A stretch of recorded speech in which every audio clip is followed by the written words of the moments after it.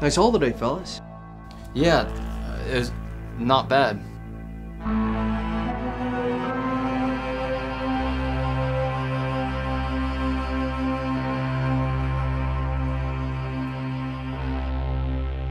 Things have gone too far.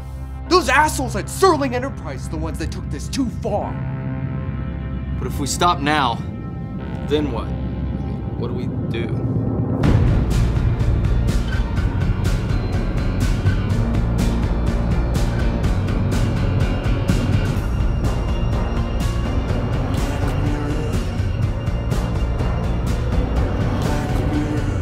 Ladies and gentlemen, we thank you for your time. Please, please don't be offended. It's not personal, it's financial.